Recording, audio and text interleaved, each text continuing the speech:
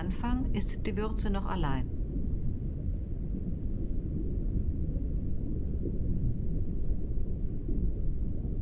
Dann kommt die Hefe dazu.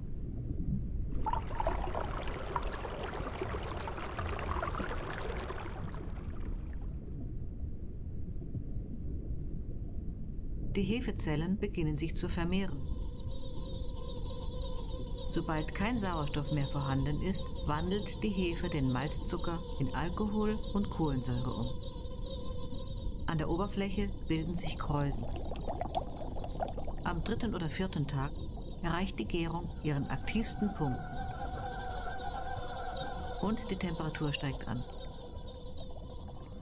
Sobald in der Würze kein Zucker mehr vorhanden ist, setzt sich die Hefe ab und ruht sich aus.